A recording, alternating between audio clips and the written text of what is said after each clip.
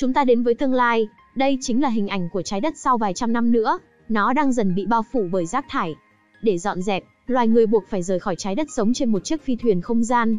Và rồi để lại hàng triệu con robot nhỏ bé với nhiệm vụ thu dọn rác thải cho đến khi trái đất có thể tái xanh trở lại thì con người mới quay về.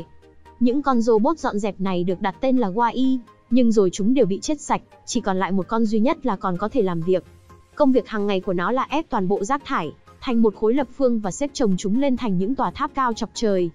Đặc biệt con Wai này có khả năng nhận thức, nó thích sưu tầm và mang về nhà những món đồ yêu thích, độc lạ, thậm chí cả những thứ mà nó còn không biết chúng dùng để làm gì. Wai cũng giống như con người, nó rất thích xem phim, nó ngưỡng mộ những người ở trong phim vì có thể được nắm tay nhau. Wai cũng muốn được như vậy, nhưng trên cái hành tinh cô độc này thì kiếm đâu ra thêm một người nữa, nó chỉ có thể dùng hai tay tự nắm lấy nhau mà thôi.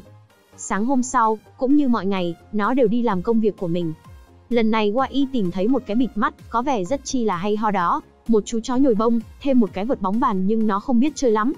Cả ngày làm việc cứ thế mà trôi qua, đến chiều Wai cắt một cánh cửa sắt ra, nó phát hiện thấy một mầm cây non đang sinh trưởng bên trong đấy. Nó nhìn chằm chằm một lúc rồi cầm cây ấy để vào trong giày mang về. Đến nhà nó thấy một chấm sáng màu đỏ, nó đuổi theo bắt lấy, không ngờ rất nhiều chấm đỏ đều chiếu khắp mặt đất, chúng hội tụ lại thành một điểm rồi một chiếc phi thuyền đáp xuống. Y tiến lại gần để xem chuyện gì đang xảy ra, cánh cửa phi thuyền mở ra, Y sợ hãi cải trang thành một cái hộp. Chiếc phi thuyền thả xuống một thứ kỳ lạ. Cái máy quét xung quanh, thấy an toàn, nó đưa ra một quả cầu màu trắng, nó tên là IV, nó giống như một loại robot đời mới, trông cực kỳ tân tiến và hiện đại. Con robot màu trắng này có khả năng bay được, nó đang tìm kiếm một thứ gì đó. Con IV này cực kỳ lợi hại, nó biết tấn công những mối nguy hiểm xung quanh. Lần đầu nhìn thấy Y, IV bắn đến nổi Y chạy còn không kịp. Biết không thể chạy thoát, Y thu mình lại thành một chiếc hộp. IV tiến lại gần quét thử, xác nhận không có gì nguy hiểm rồi bỏ đi. Kể từ đó, IV đi đâu là Y đi theo đến đấy. Từ khi IV xuất hiện, Y nghĩ từ nay nó sẽ không còn cô đơn nữa. IV vậy mà tính thì nóng lắm nhé. Đang bay mà bị nam châm từ con thuyền hút, IV bắn nổ tung phá hủy luôn cả con thuyền. Y tiến lại gần IV trong lo sợ, cậu muốn bắt chuyện với IV. Sau một hồi đối thoại, Y nhìn từ xa thấy một cơn bão cát đang tiến đến gần. Y ra hiệu cảnh báo cho IV, nhưng nó lại nghĩ Y đang làm phản. Y thu mình lại trong chiếc hộp, cơn bão cát ập tới, bụi bay mù mịt. Y lúc này liền nắm lấy tay IV, mở cửa rồi kéo nó vào trong nhà. Y bật đèn lên, Y đưa cho IV xem những món đồ mà nó đã tích trữ bao nhiêu năm qua. Y đem đến một cái cây đánh trứng, IV xoay xoay vài vòng cái thì bị bung ra.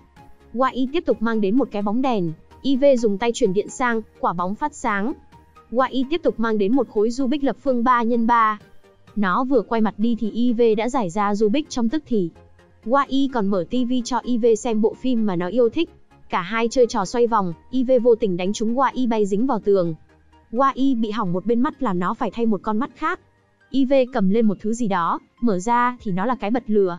Bây giờ, Y mới biết cái này được dùng như vậy. Trong ánh sáng lập lòe của ngọn lửa, Y thấy IV trông thật là đẹp. Rồi nó với tay muốn nắm tay IV, IV quay mặt lại thì thấy ngại. Món cuối cùng mà Y muốn đưa cho IV xem chính là mầm cây mà hôm trước mang về. IV quét mầm cây, và thấy mầm cây chính là thứ mà nó bấy lâu nay tìm kiếm. IV hút mầm cây vào trong người và ngưng hoạt động, đi vào trạng thái ngủ đông. Y có kêu gọi thế nào nó cũng không hề cử động. Y nghĩ rằng IV chắc đã hết pin nên đem nó ra phơi nắng để sạc pin. Y cứ ngồi chờ mãi nhưng cũng chẳng có chuyển biến gì. Trời mưa rông thì lấy dù ra che mưa cho IV, những này bão cát thì lấy thùng đậy lại. Y nghĩ sạc bằng năng lượng mặt trời thì chắc là chưa đủ. Nó lấy pin của nó sạc sang cho IV. Vừa cắm vào liền bị giật bắn ra xa. Cảm thấy không còn hy vọng nữa, Y quấn dây đèn vào IV đi dạo, tự tạo cho mình một buổi hẹn hò đặc biệt, khắc lên thùng rác dòng chữ Y yêu IV và cùng ngắm nhìn hoàng hôn xuống. Sáng hôm sau, Wa tiếp tục đi làm công việc thu dọn rác, nó nhìn thấy chiếc phi thuyền lúc trước giờ đây đáp xuống thêm một lần nữa, chiếc phi thuyền dùng cánh tay máy gấp lấy IV. Wa lo lắng chạy đến gần và kêu gào trong vô vọng. Khi phi thuyền khởi động để bay đi, Wa đu bám theo vào thân tàu. Phi thuyền bay ra xa khỏi trái đất, Wa leo lên thì nhìn thấy IV bên trong tấm kính. Phi thuyền dẫn Wa bay một chặng đường dài trong vũ trụ, băng qua những ngôi sao xinh đẹp rồi rời khỏi luôn cả Thái Dương hệ. Chiếc phi thuyền này tìm đến khoang của một phi thuyền to hơn rồi đáp xuống. Sau đó, IV được các loại robot máy móc khác đến kiểm tra, chúng nó quét thấy có chất gây ô nhiễm lạ bên trong IV. Sau đó đưa IV đến một nơi khác, Y nóng lòng chạy theo sau. Dọc theo hành lang, Y bắt gặp rất nhiều máy móc, còn gặp thêm cả con người nữa thì ra đây chính là con tàu vũ trụ mà con người đã đi và rời khỏi trái đất lúc xưa.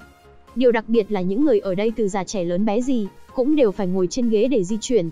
Một anh chàng mập ú bị té khỏi ghế, anh ta không tài nào đứng lên được, phải cần nhờ vào máy móc. Wai giúp đỡ anh ta lên ghế nhưng vẫn không thể tự lật mình lại được. Vốn dĩ con người từ bé lúc sinh ra đều được ngồi trên ghế, nên bây giờ đi còn không biết. IV được mang đến buồng lái của thuyền trưởng. Gã thuyền trưởng thức dậy cũng đều có máy móc lo mọi thứ, từ đánh răng, cạo râu, rửa mặt rồi mặc áo quần. Hệ thống trên tàu thông báo, thế thống vệ tinh cũng tức là IV, thăm dò đã trở về, xác nhận mở lời nhắn của một vị tổng thống lúc xưa khi còn ở trái đất. Ông ấy nói sau khi con người rời khỏi trái đất, thì sẽ cử đến những vệ tinh thăm dò như IV, nếu tìm ra được mầm cây thì con người sẽ quay trở lại trái đất. Hệ thống xác nhận mở bên trong IV ra thì thấy không hề có mầm cây nào. Auto là trợ lý máy móc của thuyền trưởng, và cũng là thứ chỉ huy mọi thứ trên con tàu này. Auto cho rằng IV đã bị lỗi bộ nhớ, cần phải mang đi sửa gấp. IV được mang đến phòng sửa chữa, máy móc bắt đầu tháo dỡ các bộ phận trên IV ra, qua ý tưởng IV đang gặp nguy hiểm. Nó phá vỡ cửa kính ngăn cách để lao vào cứu IV. Giật lấy cánh tay IV, vô tình bắn ra phía sau chúng vào hệ thống điện, các robot sửa chữa đều ngừng hoạt động, các con robot bị giam xung quanh nhờ vậy mà được thoát ra. Bọn chúng tung hô qua Y vì đã cứu chúng.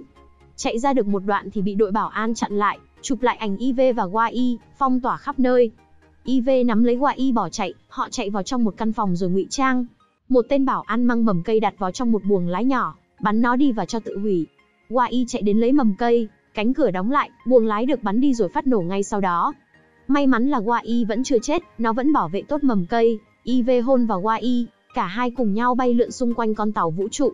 Ngay phía trong buồng lái của thuyền trưởng, ông đang xem và tìm hiểu lại tất cả mọi thứ đã từng xuất hiện trên trái đất lúc trước.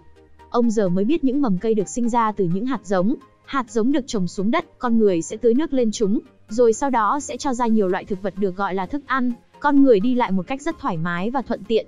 Cuộc sống sẽ không còn bị phụ thuộc vào những con robot. Lúc này, Wai và IV đang cùng nhau đột nhập vào bên trong một lần nữa, chúng muốn đem mầm cây đến cho thuyền trưởng. IV nói Wai đợi ở dưới, một mình cô sẽ lên đưa mầm cây cho thuyền trưởng nhờ vào khả năng bay của mình. Ông thuyền trưởng nhìn thấy rất bất ngờ, ông rất vui mừng và hào hứng khi sắp được về lại trái đất. Thuyền trưởng muốn biết IV đã tìm được ở trái đất như thế nào nên đã lắp cho IV một máy chiếu từ bộ nhớ của nó. Thông qua hình ảnh, IV nhìn thấy được Wai đã chăm sóc cho IV trong lúc nó đang trong trạng thái ngủ đông. IV rất cảm động về điều đó. Thuyền trưởng ra lệnh cho Auto khởi động con tàu để quay trở về trái đất. Auto không nghe theo lệnh và muốn lấy phá hủy mầm cây đó. Auto bây giờ mới cho thuyền trưởng biết về chỉ thị bí mật của ông tổng thống lúc xưa. Ông ấy nói rằng quá trình dọn dẹp của các robot đã bị thất bại, mức độ độc chất đã tăng lên khiến các sinh vật trên trái đất không thể tồn tại. Con người sống ngoài không gian sẽ dễ dàng hơn. Ông ra chỉ thị cho Auto điều khiển mọi thứ và không cho mọi người trở lại trái đất. Thuyền trưởng tranh cãi với Auto, mọi thứ bây giờ đã khác, cái chỉ thị đó đã được gửi từ 700 năm trước, bây giờ không còn như vậy nữa, bằng chứng là chúng ta đã có mầm cây này. Chúng ta sẽ sửa đổi và hoàn thiện dần. Dù thuyền trưởng có giải thích thế nào thì Auto cũng không nghe, vốn dĩ nó là máy móc chỉ nghe theo mệnh lệnh. Auto điều khiển một con robot đến ném mầm cây vào thùng rác, cũng may có Qua Y giữ lại được. IV bước tới thì bị robot nhỏ đó giữ lại, Auto đến cướp lấy mầm cây, Qua Y cho nó vào trong người. Auto làm giật điện Qua Y khiến nó bị rơi xuống đường ống dẫn rác. Auto tắt máy IV rồi ném nó xuống theo. Kể từ bây giờ, Auto nắm mọi quyền điều khiển, ông thuyền trưởng bị cấm túc và bị giam trong phòng. Bên dưới phòng chứa rác thải, IV vô tình được bảy chuột nhấn vào nút khởi động lại máy. IV đến tìm Wai thì thấy bộ mạch điện của Wai đã bị cháy. Nó chạy đi xung quanh những đống rác để tìm xem có bộ mạch điện còn sử dụng được hay không, nhưng những thứ đó không hề trùng khớp với mạch điện của Wai. Wai đưa cho IV mầm cây rồi đưa ra cái bật lửa, chỉ vào con mắt rồi đến mạch điện để ám chỉ cho IV biết rằng, ở trái đất có mọi thứ bộ phận thay thế cho robot Wai. Thế là bọn họ cùng nhau bay đến phòng thuyền trưởng. Auto thấy vậy ra lệnh cho toàn bộ robot bảo an trên phi thuyền đuổi theo bắt lấy bọn họ. Thuyền trưởng bật thông báo lên cho mọi người biết, hãy đem mầm cây đến hồ bơi rồi ông sẽ kích hoạt máy quét sinh vật sống, con tàu sẽ tự động trở về lại trái đất. Bọn máy móc bảo vệ cũng đã đến, nhưng bên cạnh Y và IV còn có những con robot mà Y cứu ra từ phòng sửa chữa lúc trước, bọn họ giải quyết rất nhanh gọn lẹ bọn bảo vệ. Thuyền trưởng rằng co với auto và đã nhấn được nút kích hoạt máy quét sinh vật sống.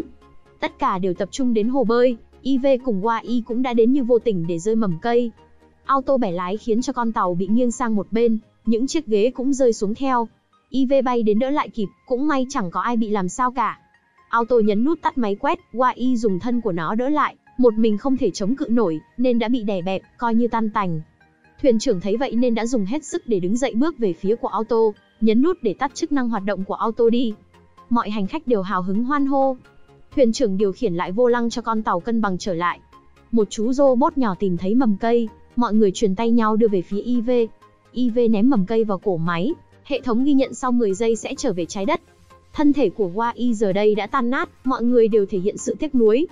Trong thoáng chốc, nhờ vào công nghệ hiện đại và bước nhảy không gian, con tàu về với trái đất chỉ mất vài giây ngắn ngủi. Mở cửa ra, IV bế Wai bay về căn nhà của nó, tìm hết mọi linh kiện thay thế cho Wai, sau đó IV bắn lên mái nhà, dùng năng lượng mặt trời để sạc pin cho Wai. Cuối cùng Wai cũng đã sống lại, IV đưa tay ra nhưng Wai không hề có phản ứng gì. IV tiếp tục đưa những món đồ quen thuộc, mở TV lên. Nhưng những thứ đó đều bị Wai ép lại thành một cục. Wai giờ đây đã không thể nhớ được IV, nó giờ trở lại như một con robot dọn rác. IV liên tục gọi tên Wai, nó nắm lấy bàn tay của Wai, hôn lên đầu Wai rồi quay mặt đi. Đột nhiên sau đó Wai kẹp lại tay IV, nắm lại tay IV, Wai dần lấy lại những ký ức, nhớ lại đến mọi thứ và gọi tên IV. Cả hai mừng rỡ ôm chầm lấy nhau. Con người xung quanh bắt đầu dạy cho lũ trẻ và thế hệ sau trồng cây, tưới nước để tái tạo lại môi trường sống, sửa chữa những lỗi lầm trong quá khứ để hướng về những cái tốt đẹp trong tương lai. Từ nay con người sẽ biết yêu quý và bảo vệ trái đất này hơn bao giờ hết. Bộ phim đến đây là kết thúc. Cảm ơn các bạn đã theo dõi, nhớ đăng ký kênh và cho mình một like nhé. Hẹn gặp lại các bạn trong các tập phim sau.